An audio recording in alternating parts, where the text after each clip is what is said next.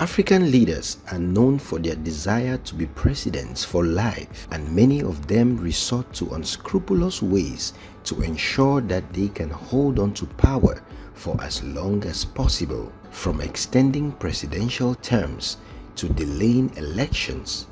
African leaders sure do have some tricks up their sleeves to entice or compel the people to keep them in power. Others resort to violence and war just to prove this point, all to the detriment of the people and the country's resources.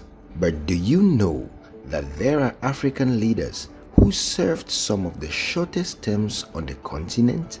Whether they resigned, were deposed, or assassinated, these presidents did not really enjoy their time in power. Are you ready to discover five of the shortest serving African leaders? Let's go. Number 5. Mohamed Morsi. At the height of the Egyptian Spring, Mohamed Morsi had been the president of the country for almost a year.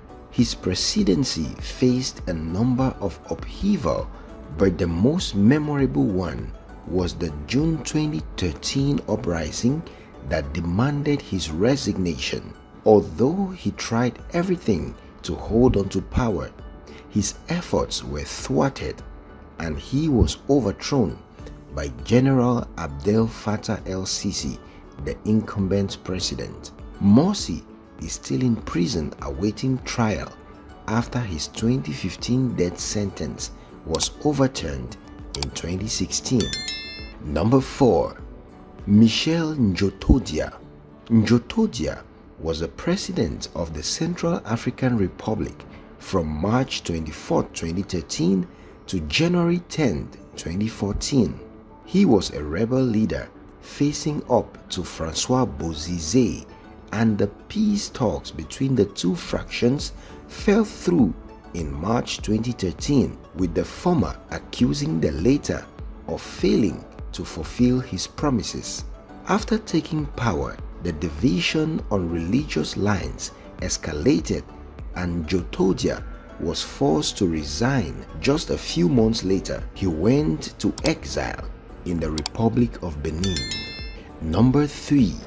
Robert Guei when Henri Konan Bedie was deposed in 1999, Robert Guei was installed as the president of the Ivory Coast. Little did he know that his term would be over in less than a year. In October 2000, he ran for president against Laurent Gbagbo, the only candidate he had allowed to run against him, only to be beaten resoundingly by the latter. Guei refused to hand over power, leading to chaos in the city, which eventually forced him to flee the country. Number 2.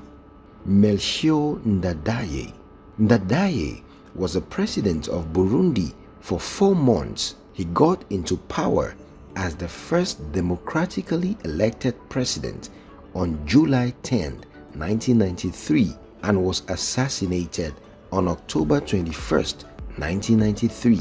What happened exactly on that day of his death is not well known, even though it had been said that he was abducted together with the president and vice president of the National Assembly and killed. He was apparently bayoneted to death.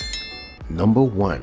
Yusuf Kironde Lule For only 68 days, Lule was the president of Uganda. He was named acting president immediately after Idi Amin was ousted. At the time, he was the leader of the Uganda National Liberation Front, the UNLF.